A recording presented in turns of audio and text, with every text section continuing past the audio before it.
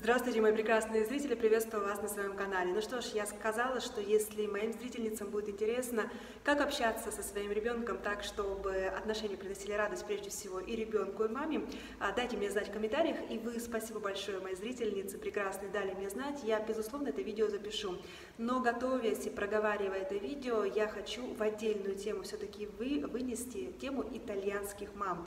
Что я увидела, чему я научилась здесь в Италии, почему итальянские мамы являются действительно, э, действительно классными мамами. Я думаю, что это ни для кого не секрет. Для людей, которые приезжали в Италию, бросается, конечно же, в глаза то, как прежде всего итальянские мамы общаются со своими детьми. И это видео будет полезно русским мамам, прежде всего, а, потому что вы увидите, какая большая разница, что называется, в исторических предпосылках, почему мы не можем быть такими мамами, даже если нам очень хочется. А если однажды мы научимся, почему нам это будет все-таки сделать гораздо-гораздо сложнее, чем любой среднестатистической итальянской женщины, женщине.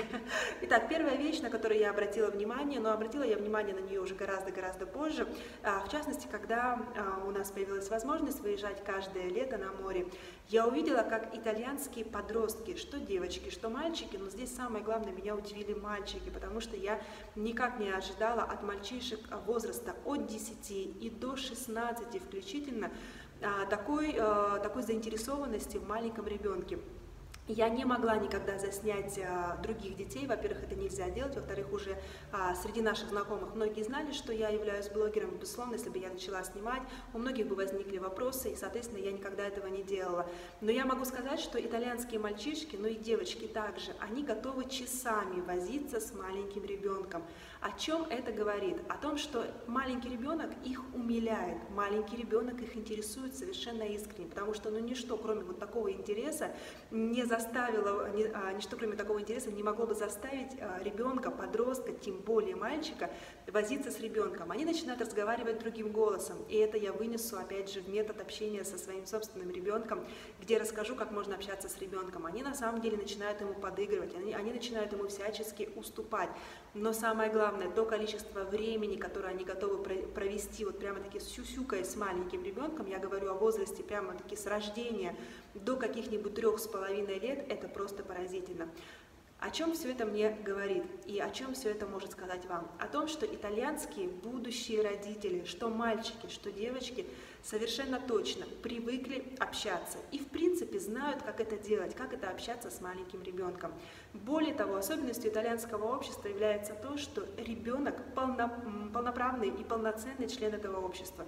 С ребенком принято здороваться, с ребенком всегда принято прощаться. У ребенка на полном серьезе спрашивают, как его дела, что он видел, что ему понравилось, и ждут от ребенка ответа. Такой заинтересованности в жизни ребенка а, я не видела ни в одной стране, и уж тем более такой заинтересованности в жизни и в мнении ребенка, соответственно, а, и в весе того, что может сказать ребенок, я не видела уж тем более в России, к сожалению. И именно это отличает тоже итальянское общество. Ребенок является единицей. Эта единица, она практически с рождения участвует в жизни общества. С маленьким новорожденным ребенком принято путешествовать, принято ходить на пляж, принято ходить в музеи. Маленький ребенок именно поэтому в Италии никого не беспокоит своим плачем практически никого не беспокоит своей беготней. Опять же, есть места и места. Если мы приходим в пиццерию, мы должны понимать, как люди, пришедшие в пиццерию, что, скорее всего, в пиццерии будут дети.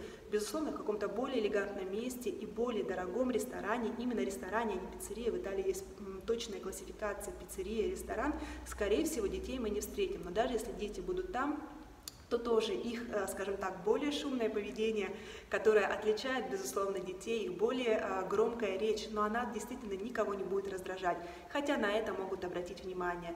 И опять же, это не речь о вседозволенности, которые имеют итальянские дети. У меня было видео, если не ошибаюсь, про чаевые, сколько стоит оставлять чаевых, где я рассказывала о том, как мы сходили в ресторан и показывала, как э, бегали дети. Я могу себе представить, насколько для русско, русского глаза и как было бы, наверное, непривычно непривычна для меня, так вот, насколько для русского глаза э, картина была непривычна. Мои дети вместе с другими детьми где-то под столом прятались, бегали, но, безусловно, в зоне, где не было столиков, где они прежде всего не могли себе причинить никакого физического ущерба. Эта картина непривычна для нас. Эта картина непривычна для многих других наций.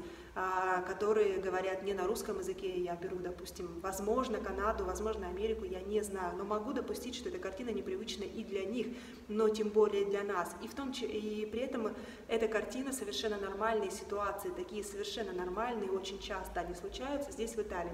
Хорошо это или плохо, это не тема этого видео, для меня это, конечно же, хорошо, потому что ребенок, он другой, и это, опять же, будет вынесено в аспект, как общаться со своим ребенком, понимание, что ребенок другой, у него него другие потребности, самое главное, у него другие возможности. Очень часто ребенок не может говорить тихо, либо он может это сделать с десятого напоминания. Соответственно, нужно просто действительно, чтобы и общество было терпимо, и, э, да, и общество было просто терпимо. Поэтому, по большому счету, предпосылки к формированию вот этого родительского инстинкта, они совершенно иные, чем в России. В Италии, когда женщина становится матерью, когда мужчина становится отцом, они, во-первых, знают, что можно делать с этим ребенком, как вообще все это будет, потому что они много раз уже общались с маленьким ребенком, и они много раз видели маленького ребенка, допустим, вне своей семьи. Когда, опять же, кто-то пришел в пиццерию с маленьким ребенком, ни для кого не удивительно, что мама, либо папа, либо мама, папа, бабушка, дедушка постоянно этого ребенка носят, потом выходят его укачивают. То есть совершенно точно а, итальянская мама представляет, с чем она будет иметь дело, в то время как очень часто русская мама, она совершенно не подготовлена к своему материнству. Более того, у меня сложилось впечатление, что в России считается, что, в общем-то, материнство – это что-то естественное и нормальное, в то время как материнству нужно учиться материнским навыкам также. И, опять же, я рассказывала, как меня подвели журналы, как а, сейчас помню, журнал, возможно, до сих пор выходит, назывался «Счастливые родители». И я представляла, как я рожу своего первого ребенка, я тогда даже не знала, кто у меня будет, мальчик или девочка. И вот я прихожу с ним в ванную собираться и сажаю его, допустим, где-то, а сама сушу себе волосы, а, укладываю их, делаю себе макияж какой-то. Ребенок на меня смотрит, такой радостный, с расческой, почему-то я его себе представляла, я дала ему расческу, и он радостно на меня смотрит. Я даже не подозревала, что ребенок может упасть. Я даже не подозревала, что расческа – это один из самых грязных предметов, которые могут, наверное, иметься в ванной. Я никогда не дам своему ребенку расческу в качестве игрушки. Я о многих вещах не подозревала, в то время как итальянская мама, она совершенно точно более подготовлена, именно потому что ребенок является частью э, общества. И итальянские будущие родители, начиная с малолетства, видят маленьких детей в окружении себя.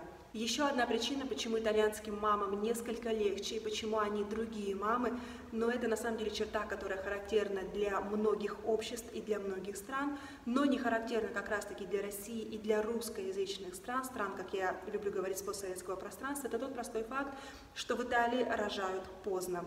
В Италии принято рожать после 35. Первый ребенок после 35 считается нормой.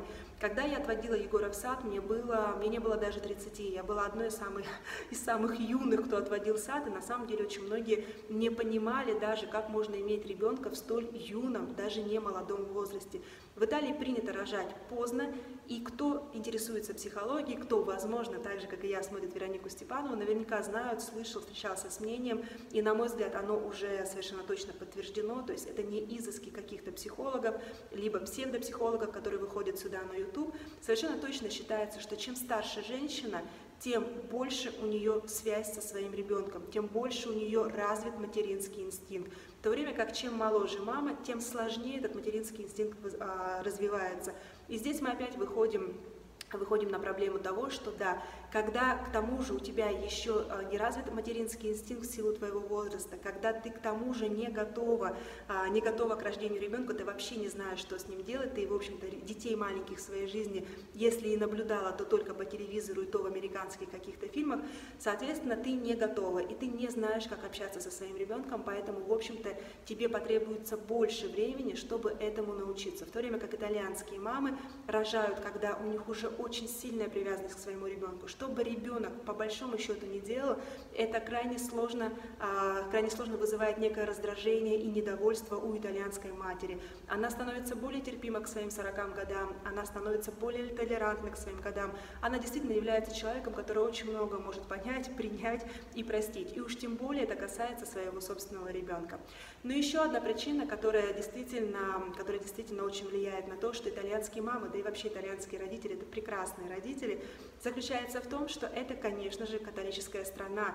И я много раз рассказывала, обращала внимание, что в семье ребенок является некой проекцией образа младенца Иисуса – что очень часто напоминается итальянским родителям. А, итальянцы ходят в церковь, и часто об этом говорится на собрании. В Италии очень много католических детских частных садов, и туда ходят мои дети. Трое детей отходили в католические а, частные сады. Так вот, напоминается родителям, очень часто об этом говорится, и на любом религиозном празднике это повторяется, что ребенок – это дар. Так же, как младенец Иисус был даром человечеству, Ребенок маленький – это дар родителям, и как дар, э, точнее, и как дару необходимо к ребенку относиться. Поэтому есть некая даже дистанция между родителями и детьми, потому что никогда нет вот такого отношения, что ребенок э, – это мое продолжение что ребенок это то, что только я и я создаю, и могу создать, и могу слепить. Нет, к ребенку есть действительно отношение как к дару. Безусловно, в какой-то семье, в какой-то семье это проявляется больше, в какой-то семье это проявляется меньше. Ну и четвертая причина, которая очень и очень отличает итальянских мам и нас, русских мам, по большому счету, от э, многих мам на этой планете, заключается в том, что в большинстве своем мы являемся все в прошлом, но если уж не нелюбимыми детьми в своей семье, то недолюбленными детьми. Наших родителей не учили с нами общаться. Нашим родителям было не до этого, мы все восстанавливали, точнее не мы, а наши родители, и их родители восстанавливали страну после террора, после Второй мировой войны. Я думаю, что здесь объяснять не надо, с какими тяготами пришлось всем столкнуться. Ребенок воспринимался, точнее его рождение, как нечто само собой разумеющееся, ты его накормила, ты, ему, ты его помыла, спать положила, и, в общем-то, ничего больше ты ему не должна. И, наверное, действительно так оно и есть. Но единственное, что забывается о том, что для того, чтобы ребенок формировался и развивался а, так, как ему нужно, так, как ему необходимо, ребенку нужна любовь. И очень часто нашими русскими мамами воспринимается вот эта вот излишняя любовь как нечто синонимичное баловству, излишняя любовь как нечто, без чего ребенок может обойтись. Но тем не менее, ребенок не может обойтись без нашего э, ежечасного, даже если ребенок с нами находится, проявления любви. Я тоже об этом расскажу в другом видео, как можно проявлять свою любовь, нужно ли это делать и может, быть, может ли быть проявление любви слишком много, исходя из того, что я узнала от итальянского психолога прежде всего. Расскажу об этом а, в отдельном видео, но мы должны понимать, что мы являемся в большинстве своем обществом недолюбленных детей. И, соответственно, очень часто в определенном возрасте эти стереотипы становятся нашим поведе... нашей поведенческой нормой. То есть мы, по большому счету, начинаем даже нехотя относиться к нашим детям так, как когда-то относились к нам. Относились, возможно, неосознанно, относились, потому что всегда и везде так относились к детям. Поэтому о тех вещах, о которых я сегодня рассказала, необходимо знать и помнить, если мы вообще задумываемся, почему действительно итальянские матери, они такие, а, на итальянском есть слово афетозо, то есть они такие прямо такие, ну даже нежные, они такие, они очень любят своих детей, на самом деле они купают своих детей в любви, у них налюбленные дети, это совершенно точно, но и все общество построено на том, что ребенок это единица непосредственно с рождения, единица общества прежде всего. И если мы хотим, а, если мы хотим выйти вот из этих стереотипов постсоветского пространства о материнстве и о родительстве в целом, что нельзя баловать, нельзя делать то, нельзя это, а нужно, допустим, вот так, и мы понимаем, что это не работает, это видео прежде всего для тех, кто начинает сомневаться, кто понимает, что какие-то вещи вот они не работают, что, возможно, есть альтернатива, в особенности сейчас, когда мы много путешествуем по миру, мы можем наблюдать других людей, в том числе и родителей в отношении а, с их детьми, то, безусловно, вот такие причины, которые прежде всего объясняют, почему мы несколько иные в отношении с нашими детьми, они могут прежде всего помочь понять и потом перестроить, а, поработать над своими собственными отношениями. Обязательно запишу видео о том, что необходимо делать, а, чтобы прежде всего комфортно общаться со своим ребенком, чтобы общество ребенка а, приносило как ребенку, так и вам самим радость, удовольствие и даже счастье. На этом с вами прощаюсь. Это была Яна Скворцова. Всем пока-пока.